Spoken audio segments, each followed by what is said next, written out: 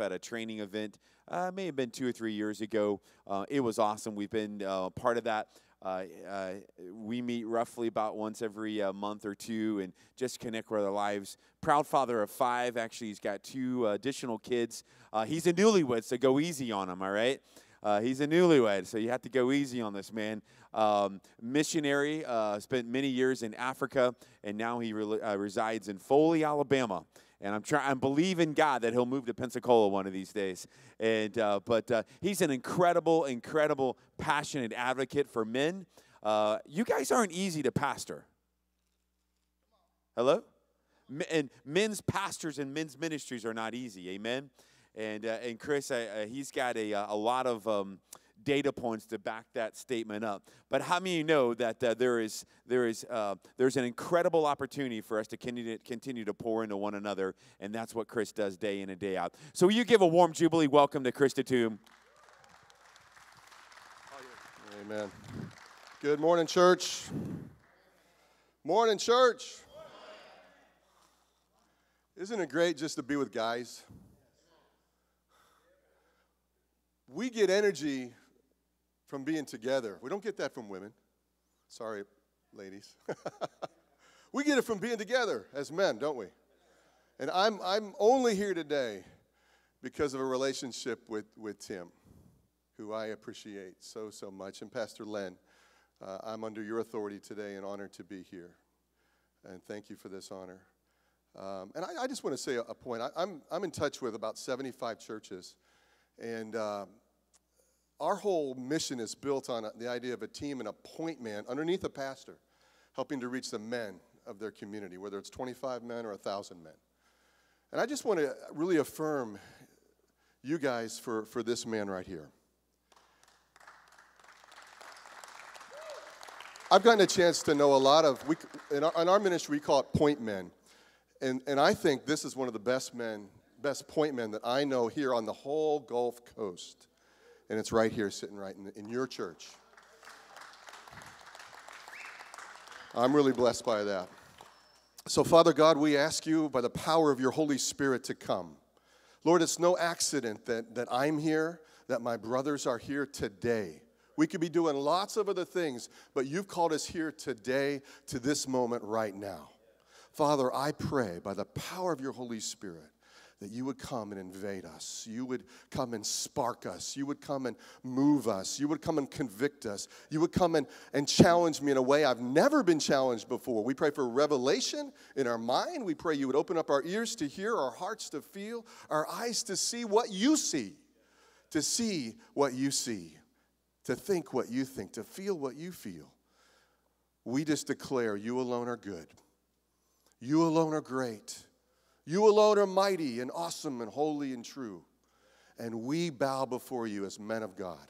You call us sons, that you say you delight in us. And Father, we say we delight, we adore you, and love your holy kingdom. So, Father, I come and ask your spirit to move amongst us, Father, in a, in a powerful way. We can do nothing without you. So come. And all God's men said, Amen, amen, amen. Um, got a handout here. I'm going to need some help with a handout. Maybe some guys can help me. If you guys would get those around, maybe take half. He takes half. Uh, and who needs a pen? Anybody need a pen? Somebody help with pens here with us? Thank you very much. Anybody you can help? Thank you so much. And I'm going to engage you guys in some, uh, really a dialogue, a conversation, if we can, about some things. Let that handout get around.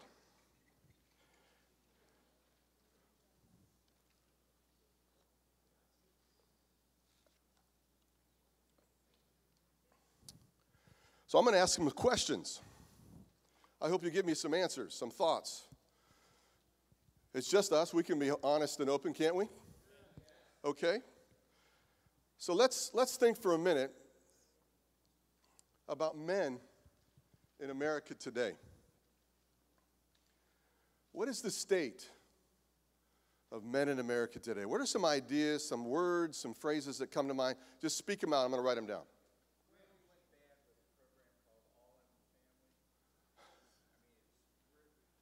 Put a, word, put a word to that.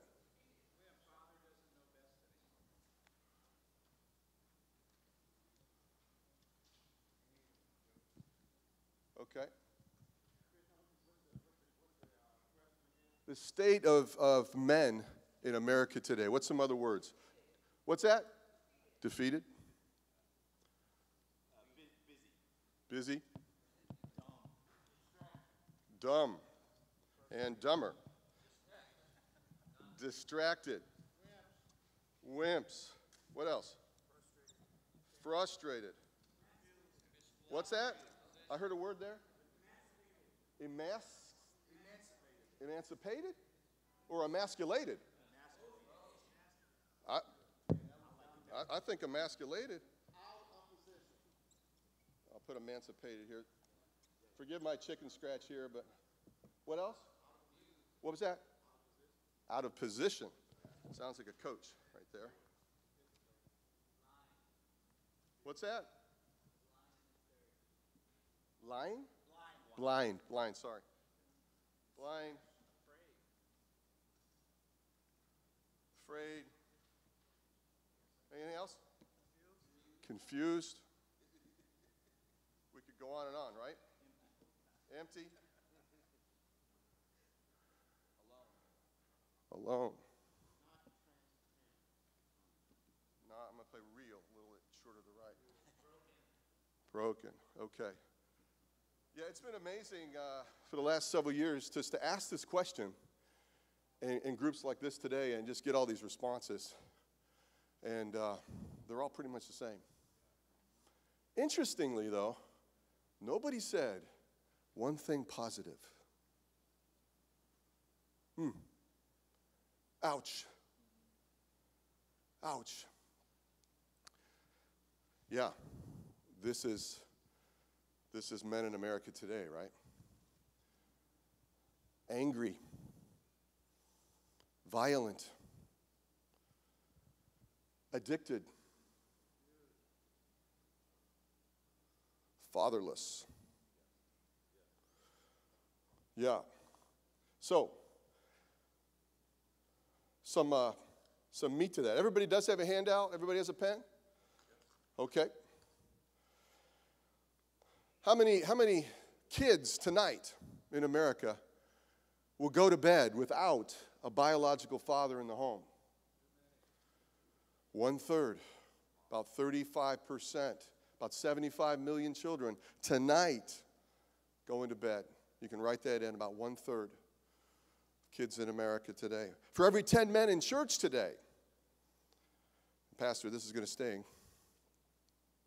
Every man in church today, church, big C church, all 10 are struggling to balance work and family. Uh, nine of the 10 will have a child leave the faith or leave the church. Eight of the 10 struggling with their jobs to find them meaningful. Six of the 10 struggling financially, only paying the minimum on their credit card debts. Five of the 10 would admit to issues of pornography. Four of the 10 end in divorce, affecting a million kids a year.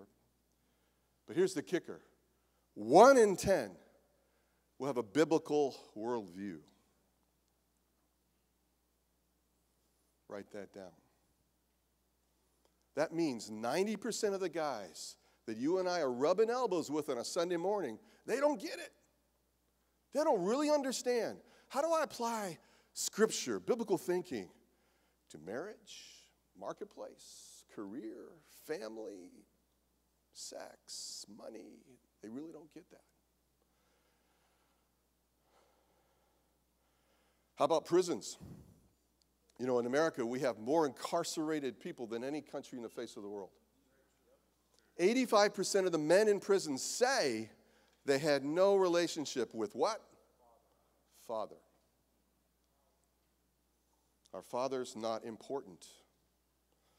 How about fatherless kids? Five times more likely to live in poverty. Nine times more likely to drop out of school. 20 times more likely to go to prison or to commit suicide. Now, if you don't catch one of these blanks, you just put your hand up and say which one you didn't get, okay? We'll catch up all along the way here, all right? Let me just say this too. If you have a question or you want to interrupt me, feel free, okay? Can we do that? Can you nod your head if I have a question or thought I'm going to interrupt you, okay? I want you to know you have license to do that. Yes, sir. Need some more? There we go. Got more too if you need them. Thank you very much. Men in America today. Well, I didn't even answer that second blank. You guys might be wondering what happened there. We say the war on men is greater now than at any time in human history. Would you agree with me? The war on men, the war on you and me every day,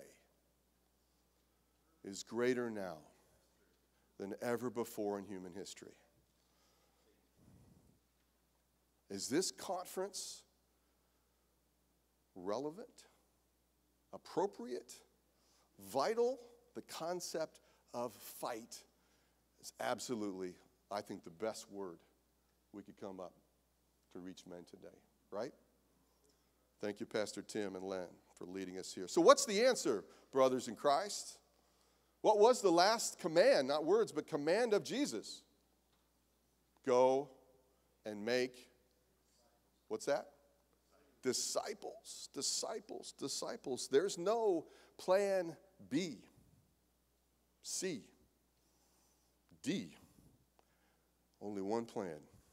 It's interesting, the master of the universe coming up with a plan to change the world. What did he do? Picks 12 ragtag guys just like you and me for three and a half years, gives his life away to those guys. He put all of his marbles in that basket, right? It's amazing to think all the other things he could have done. He does that. Those 12 guys, 11, they catch it enough, they give their lives up for it, they change the world. We are sitting here today, right? Disciples, discipleship. So, what is a disciple? Tell me. Any ideas?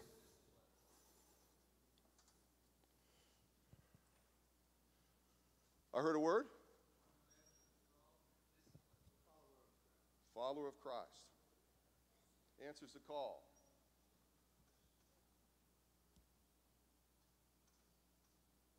Under authority. All great words. Discipline. Yeah, we, we see uh, uh, they're learners, students under authority to a master. But I love somebody said it. In the word dis- disciple is the word discipline, right? In other words, a disciple will be disciplined. What is a disciple disciplined in? Give me some ideas. How is a disciple supposed to be disciplined? In other words, what are spiritual disciplines? Give me a couple.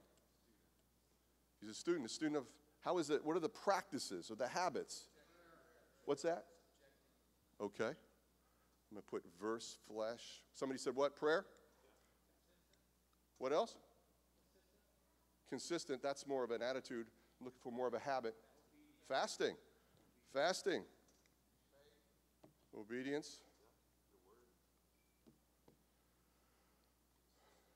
Consistency. How about, how about communion? I mean, I'm, I'm thinking about the scriptures. What are disciplines in the scriptures we are given to be a disciple? How about, how about meditation? Or even the lost art, memorization. Ooh, ooh. He's going to be a giver, right? All these are great. Let me put a little definition to it. This is what we use as a ministry. And our ministry is 33 years old. We have uh, 80 staff guys in 26 states, based in Orlando. And we're privileged and honored to serve pastors and churches across America. I serve from Pensacola to Ocean Springs, Mississippi. I live in Foley. But here's a, here's a definition we use, and I'd like for you to write this down. One who is called to live in Christ, in Jesus, called to live in Jesus, equipped to live like Jesus,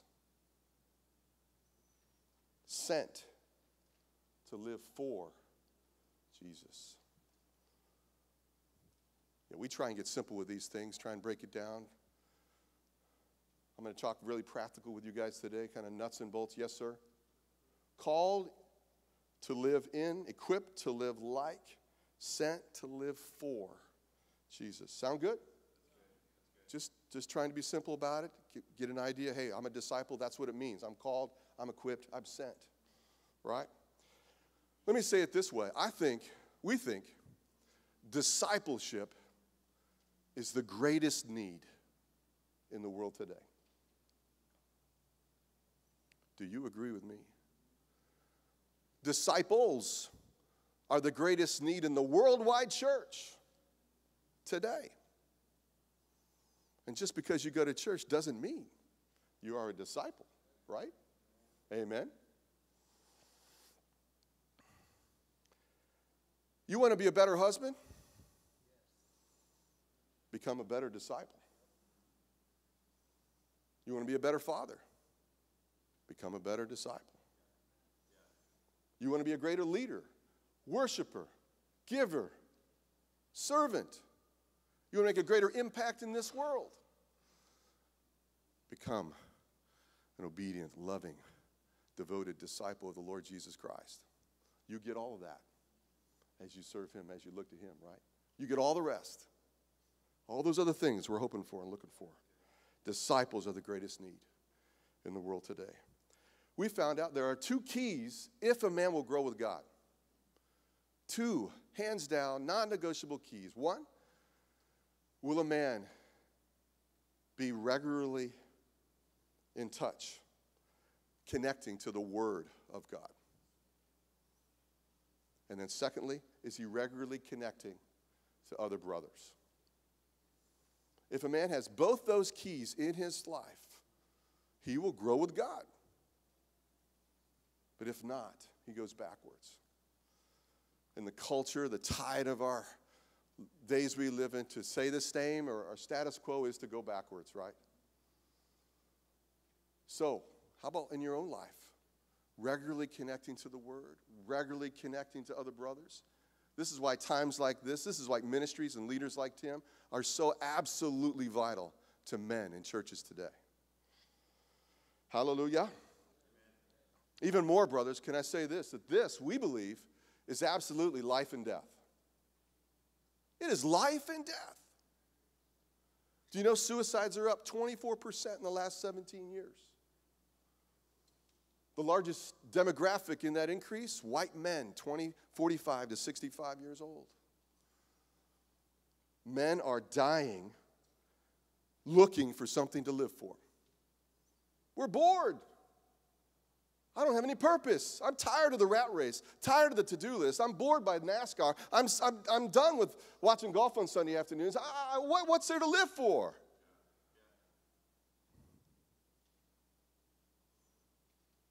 I think one last statistic I'll throw at you.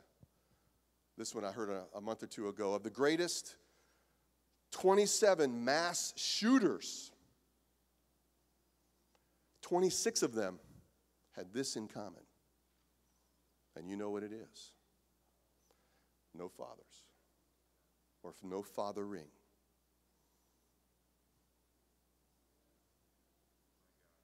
My gosh, you as a dad, I just want to hear speak that word to you today. You are absolutely beyond measure valuable. Absolutely crucial to the life, the future, the legacy, the destiny of your family. You God's finger. It's pointing at us. After Eve made that mistake in the garden, he didn't go after Eve, do you notice? Who did he pursue? Adam, where are you? Where are you? So, brothers, you were made with a God purpose. You might fill that in. You were made, you were made, crafted, and designed to fight to fight. We're not like women. We are designed differently than women. He made us to fight. He's made you to fight. I'll never forget, i I was the new kid in the middle of eighth grade. I had switched schools in the middle of eighth grade. That's a hard thing. I was a new kid in a new school, didn't know anybody.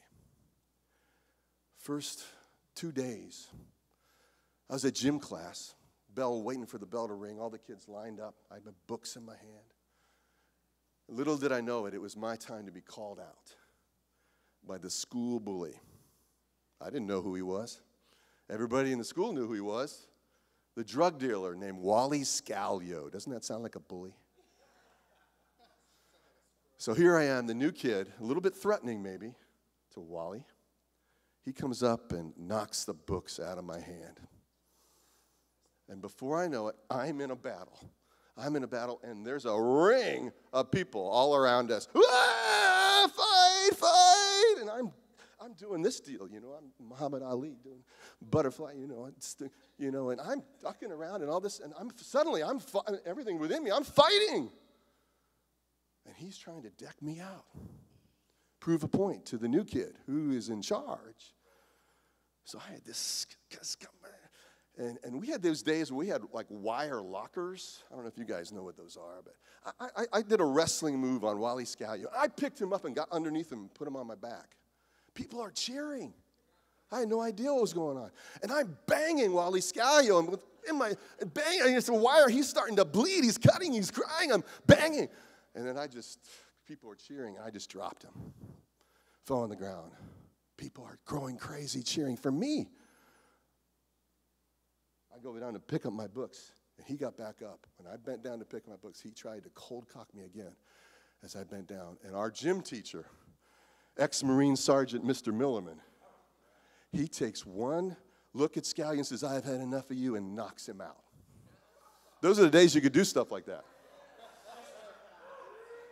Not today, but in those days, he knocked him out. He knocked him out. They sent us to the office. You know how they like to do? They looked, took one look at the situation and told me to go. I went back and I went into my math class, and I got a standing ovation in math class. The new kid, the new kid beat the bully. We're made to fight, right, Tim? We are made to fight. You are made to fight. I am made with a God purpose to fight. But the prophet writes, you know, he has plans for us, plans for you. But even more than plans, he has a purpose. And you won't be happy. You won't be happy pursuing any other purpose than the purpose of God in your life. No other thing in your, in your you know, love bucket we, we tend to have. You know, what can I put in and, and feel that sense of love and acceptance and approval? You know, that new boat, the new bass boat, that's going to do it for me.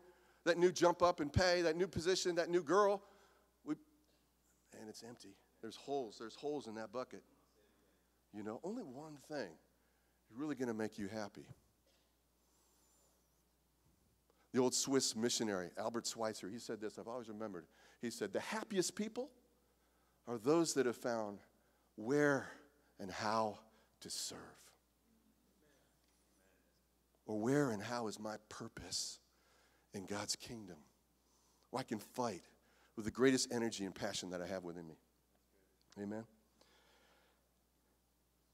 How many, uh, how many cruise shippers?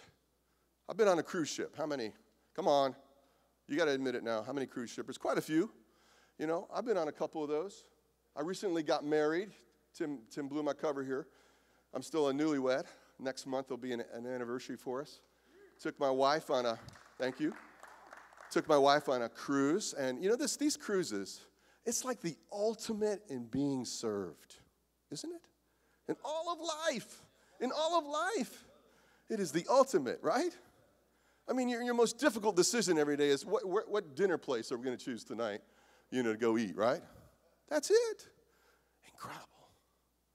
And so much of us in this Christian world think I'm still riding the cruise ship.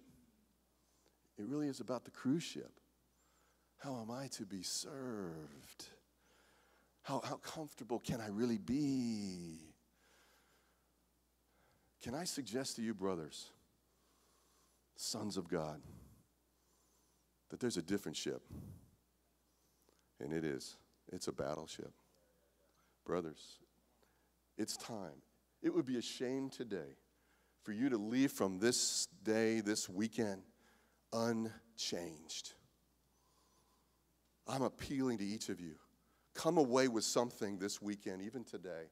I'm determined, I'm resolved to change. Something in my life, maybe a couple things in my life. And you know what this is? To fight is to take action. No more passivity. No more putting it off. I've got to take action in some things in my life. And Father, I ask in the name of Jesus Christ that there would be a, a, dedication, a resolve in some brothers here today. I'm, I'm determined to take action in my life. It might be in my studies, it might be uh, in my marriage, it might be at the workplace, it might be in how I deal with finances, or it might deal with this pornography thing I can't get rid of. Father, I'm determined to come away with something I'm going to make a change in. In Jesus' name, amen, amen, amen. So, the battleship. You know, the battleship, everybody has a place. Everybody knows they're, they're in a war. Everybody has, a, has a, an authority they understand. And there's a unity because of the, the purpose, the place I have, and, and the battle and the war that's outside of us. But the truth is this I have met the enemy, and it is I. Anybody with me? I have met the enemy, and it is I. I'm the one totally responsible for my life with God. Nobody else. I can't go in on pastor's coat. My wife can't. I, I'm, I'm responsible. I'm as close to Jesus as I really want to be. Is that true? I love this book. I love this book by this Navy SEAL. It's called Extreme Ownership. Anybody seen that one? Extreme Ownership. Boy, I need some of that in my life. How about you? I need to own where I'm at. Maxwell says it this way the first step in leadership is to, to define reality. I think Brother Alvin said it earlier. Uh, the reality is, I, I better face myself, I better deal with the truth of my life.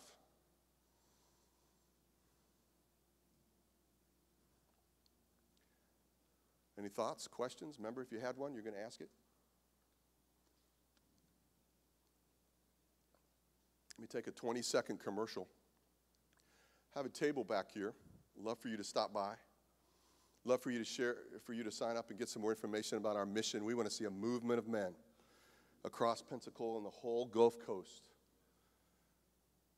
Love for you to join us in our mission. We have some books for sale. They're all $10. Love to get, get some copies in your hands. Um, yeah. So let's get practical a little bit about our enemy. Any football fans here? Yes, yes, yes. Are you like me and just waiting for the season? Right, right, right. Come on, come on. All this boring stuff we got to deal with till the football season. Come on.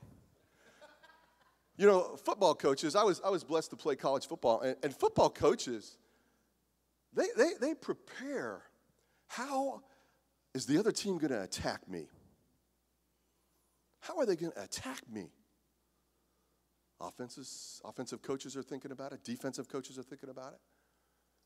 I, I better know my, my opponent. Because if I don't know him very well, then I can certainly understand how he's going to attack me. And I'm going to be unprepared on that field. And it's going to be a bad day. Right? We need to know. We need to wake up about enemy. And I want to, I want to mention four tactics today. Four tactics. I think some of them have already been mentioned.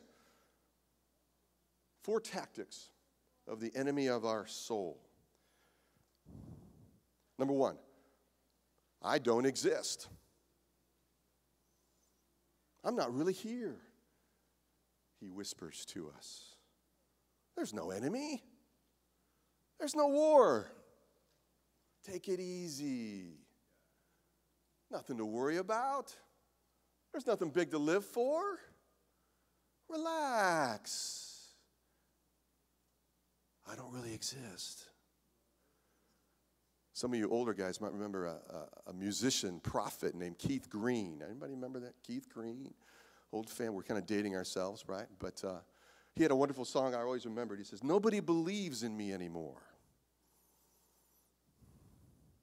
We better wake up. He is, he is totally looking to deceive you, to distract you, to disable you, to destroy you. That's his mission.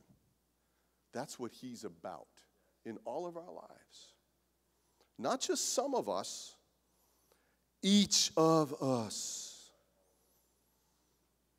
Peter writes it this way He is actively seeking, actively seeking whom he may devour. You feel him? You sense him? You hear him in your mind? You feel him day by day? He wants to crush you. Your marriage, he wants to take it down. Your kids, he wants to kill them.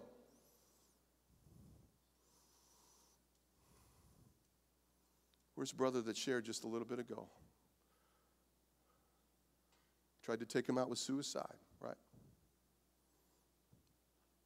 One, I don't exist. Two, scramble communication. scramble communication. Brother Alvin talked about marriage earlier. Irvin, you know, if you, you put all the struggles of men in one pile,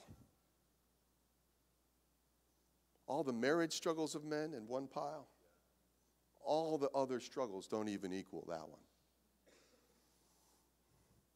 Brothers, if you're married, if you're in that covenantal relationship, it's God's crucible for you.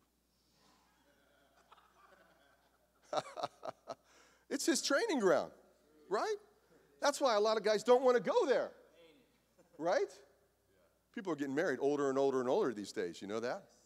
They're afraid of that. Why? Because you face things in a wife you would not face outside of that marriage relationship, right? Yeah. So she is God's sanctifying tool in your life.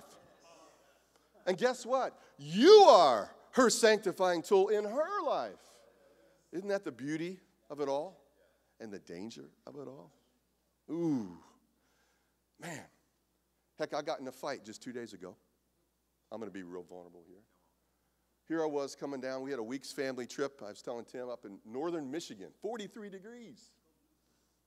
Three days ago, I'm in northern Michigan. We're coming home. We got a 13 hour ride normally from Ohio. Guess what happened? It turned into 18 hours.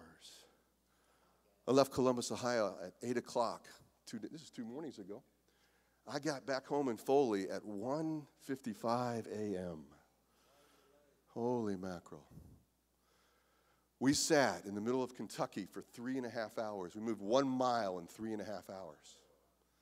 Thousands and thousands of people from the middle of Kentucky. I think it was back all the way to Cincinnati because it was a big, big, big mess. That tends to do something to your attitude, right? So here we are. And along the way, you know, I'm driving, I drove 14 to the 18. She takes over a little bit just to give me a little break. And at one point, here we're driving southerly, you know, all the, and you're going to laugh at me here. We're driving southerly all the way from northern Michigan all the way to Alabama. And at one point, we're in a little small town. She stops and she had a, a fork in the road. Which way do I turn? Which direction do I turn? I laughed. That wasn't the right thing to do. That wasn't the right thing to do. I'm thinking, you don't know we're headed south. Right? You don't know we're headed south. We're going south for the last 15 hours. That's what I'm thinking. This is ridiculous. You don't know which way to go. That's what I'm thinking. I laughed. Guess what? It was bad news. Here's the thing. Here's this communication thing with a husband and wife. This is what I'm learning. Is we're about being right. They're about being loved. We're so interested in the content of being right. In other words, what direction am I turning? I defeated my question by the tone with which it came. In other words, we can mess up our message through the medium of our anger or our tone. We need to be much more concerned, if we're going to serve our wives, about the tone being loving and giving up being right. Anybody with me? Just there it is. So, one, I don't exist. Two, scramble communication. Three, propaganda. What are the lies we believe? Give me a couple lies. Couple lies. I lost. A, did I lose a thing? Oh, here it is. What's that? Okay. I can't do it. What things won't change for me?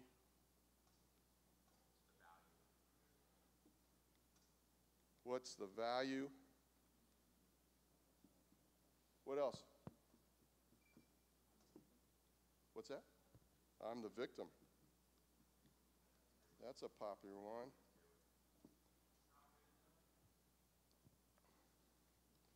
I'll never be good enough. What's that?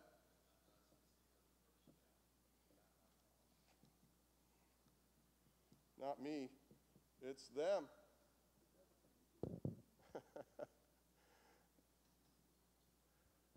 it, would, it would help us to consider some of the lies that we're dealing with often and really reflect on that. Really get God's word on that. Really get God's heart on some of these things that really aren't true. Right? If we're going to get healthy, we need to deal with some of these things in our life. Right?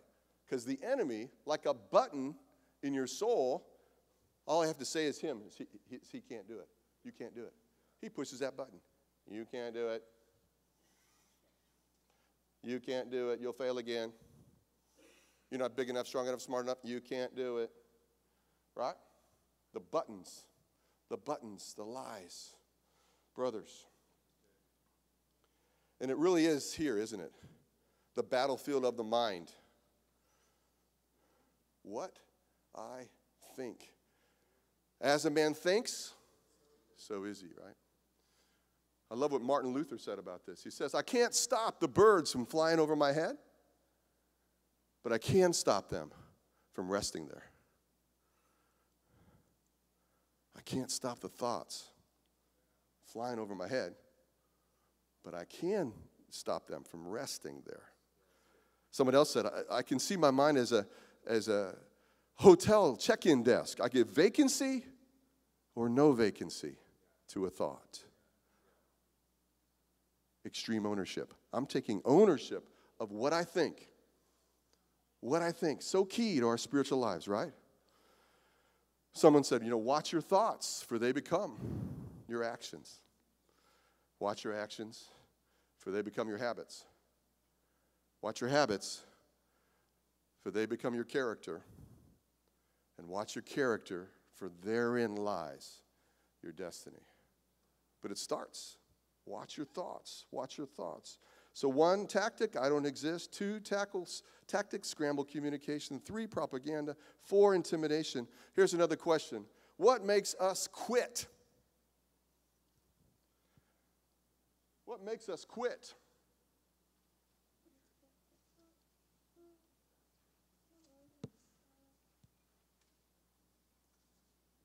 Yeah? Somebody said fear, shame. What's that? Past?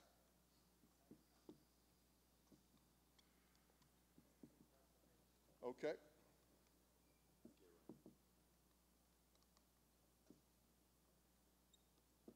Fear, shame, past, lack of confidence, procrastination. What?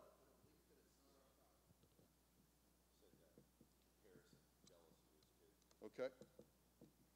Comparison.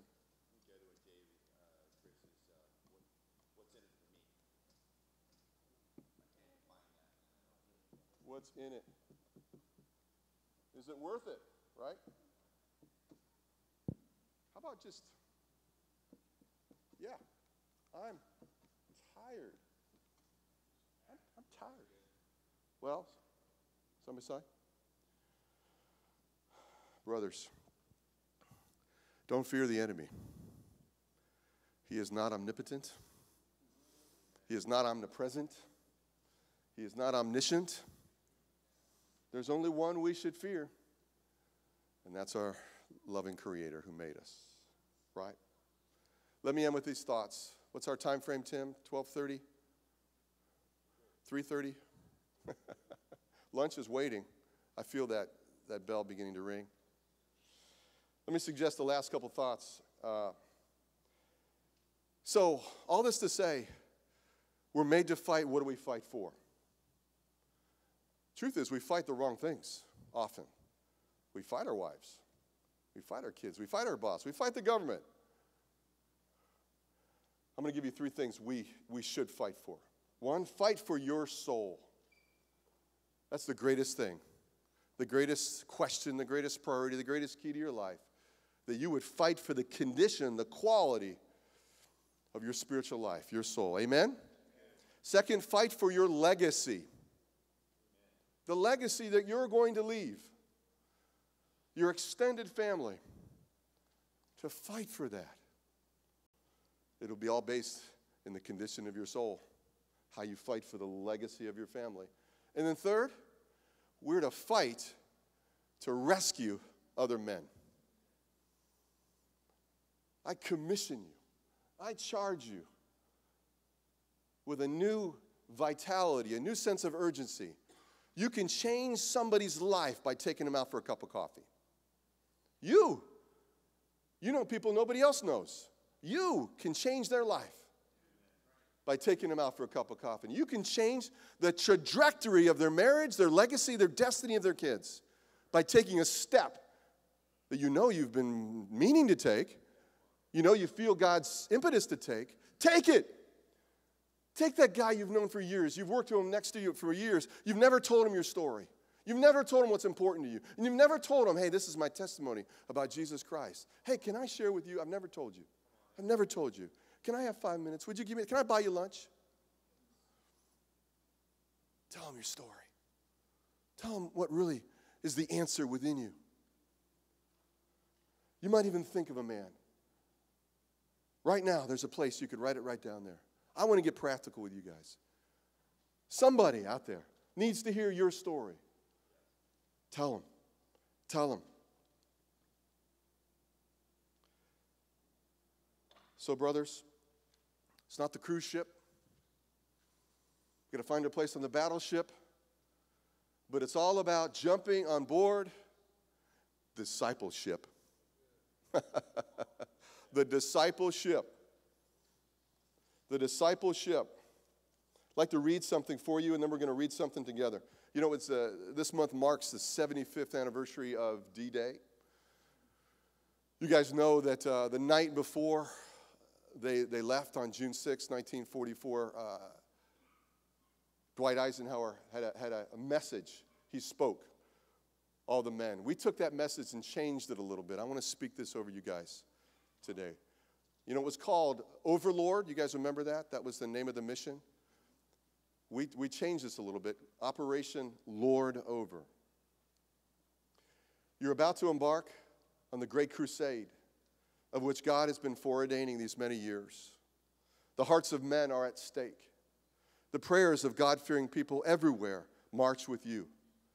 In company with our kingdom allies and brothers in arms on other fronts, we will attempt to slow the advancement of the evil one's war machine, the reduction of unbiblical manhood over the oppressed men of America, and the ushering in of a great spiritual awakening as God allows. Your task will not be an easy one. Your enemy is well trained, well equipped, and battle hardened. He will fight savagely. This is the year 2019. Much ground has been gained by the enemy in the battle for men's souls. The world, flesh, and the devil have inflicted great defeats in open battle. Their offensive has seriously reduced our capacity to wage war. Our home fronts have been negatively impacted by the cultural invasions. The tide needs to be turned. We have full confidence in our commander in chief, who asks us to be strong and be of good courage. He desires for us to strive for the victory. Let us all beseech the favor of Almighty God upon our great and noble undertaking until every church disciples every man. Amen and amen.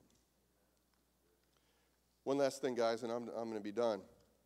Um, if you turn over on the back of that sheet, I've written a declaration. I'd love for us to say it. Can we stand? You see what I'm saying on the back sheet? You got that? I am made to fight for God. Everybody with me? Come on, stand up, brothers. Stand up, brothers. Now I want to hear a little bit of uh, a little bit of energy, right? Warriors of God, a little bit of passion, a little bit of urgency. Here we go. Say it with me. I declare that I am, and all men are in a war. Yet I am made with a God purpose and designed to fight for the things of God. I declare that I am a disciple of the Lord Jesus Christ. My only hope to be the best man I can be is to be that disciple whose hero is Jesus. I declare that as a husband and father, I am of immeasurable value and without doubt totally key to the legacy and destiny of my family He has given me. I declare that I am resolved to find my place on the kingdom battleship and to wage war as his son and to fight well all my days with all my fighting brothers. I declare that I will defeat my enemy. I will not listen to his lies, nor ever quit but fight for my soul, the legacy of my family, and for the souls of men. I will overcome because he did, and therefore I can. I am a warrior who fights with passion and passion for God. Amen, amen, amen. Thank you. Bless you. Hallelujah.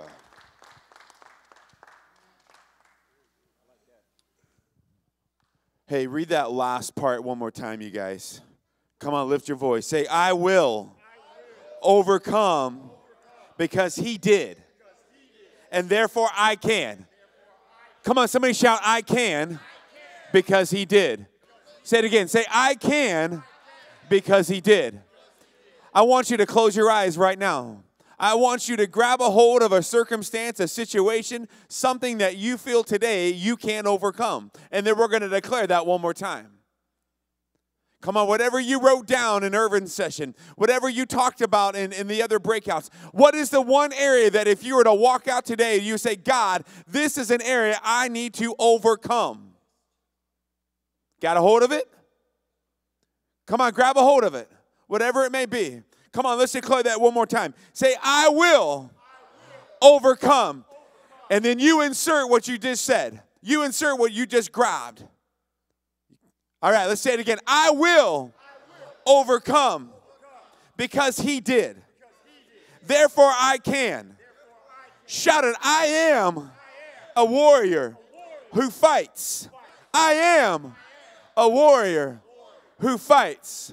I am a warrior who fights. There's something about uh, there's something about us tapping in to the spirit of a warrior, amen? A fighter. I've never fought in the military. I'm looking back there at Jason. I know he's fought many years the I've never done that before. But I'm telling you, there's something about when we tap in to the spirit of a warrior. Martin, wherever you're at, Martin, race up here.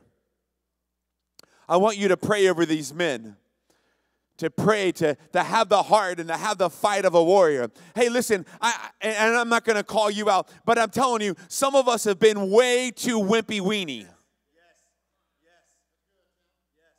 Some of us have been way too passive, and I'm speaking to my. We've been we've been willing just to kind of accept and take whatever the enemy, whatever comes. I'm telling you, there's something that I believe that if, if there's nothing else that we walk out of this room this morning knowing is that I have the ability to fight where I thought I didn't, God is eh, God is empowering you. He's He's downloading on you the ability to fight. Are you hearing me? That the ability to fight for your marriage, the ability to fight for your identity, the ability to fight for the purposes of God, the ability for you to be a winner. I don't have to have, I don't have to have uh, the loser over my life. Yeah, I may have walked through some situations. Yeah, I may have walked through some things I lost in, but that does not make me a win. That does not make me a loser. That makes me a winner in Christ because what we just read says, because he did, I can. Because he did, I can. I'm speaking to souls this morning. I'm waking them up. I'm waking, I'm speaking into souls this morning that need to be awoken to God's purpose. I'm speaking to souls this morning that is willing just to go through life and just the case Sarah, Sarah. I'm telling you by the Spirit of God, God is speaking and downloading on the inside of men this morning to wake up, to learn how to dig your heels in, learn how to fight. I can because He did. You're teaching us, Holy Spirit. I can because you did.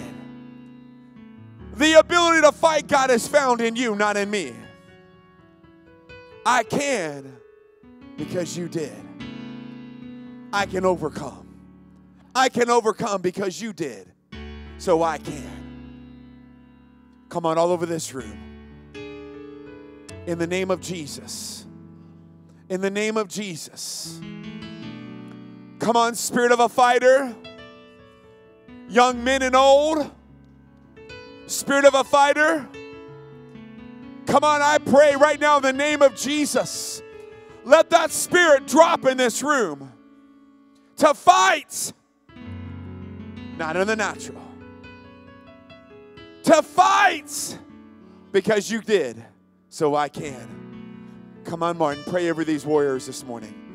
Come on, I want you to tap into the God that's on the inside of you you're now leading this, you're now leading an army of men. Martin, I want you to declare what, what God is speak, what God says to you, you speak it over us. Hallelujah. Thank you, God.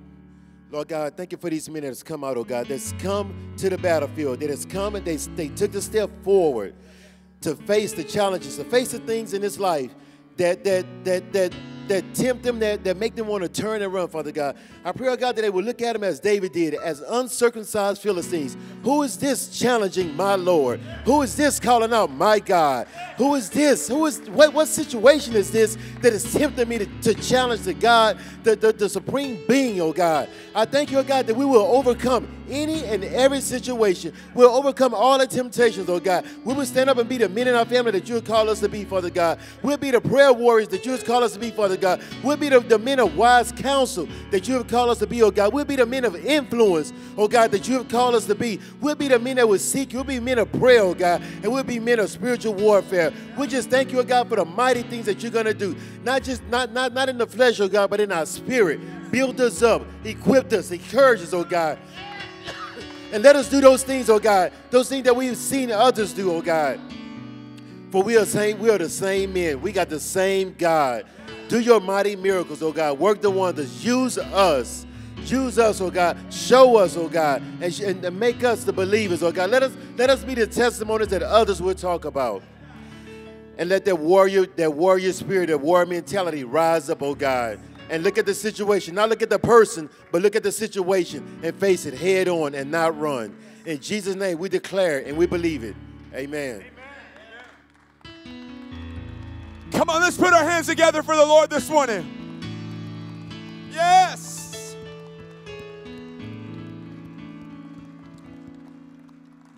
Come on, well, let's give Chris a big hand for what he spoke into us. That was incredible.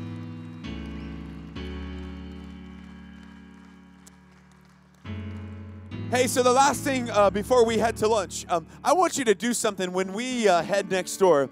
One of the things that I grabbed the hold of that Chris was saying and, and really reinforcing is that we need each other. We need each other. We need each other, you guys.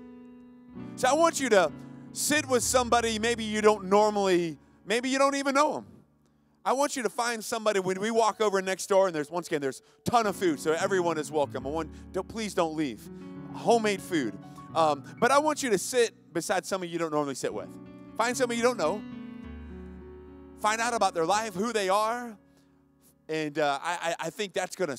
I'm praying as we exit this conference this week. It's to spark a desire to want to pour and to want to lead and to want to uh, be accountable to one another and to really grow. Amen? Is that all right? So, Father, we just bless the food, God. Bless the hands that prepared it. We thank you for the incredible women next door, God, that have been working all morning long. And, and they actually they were here last late till last night, God. Lord, we just thank you. Just bless their hands, God. Lord, bless our, our, our fellowship, God. And Lord, we thank you. Let everything that we do uh, today, God, let it just um, lift you up and exalt you. In Jesus' name we pray. Amen. Hey, so we'll break for lunch. We'll be back here tonight, 645 uh, for the uh, general session. You're not going to miss it. Pastor, Mar- uh, Pastor um, Marvin's going to be preaching tonight, and it's going to be awesome. And he has a demonstration of not breaking boards. But it is going to be good. It's going to be good. Too soon? We're going to have an altar call for his wrist.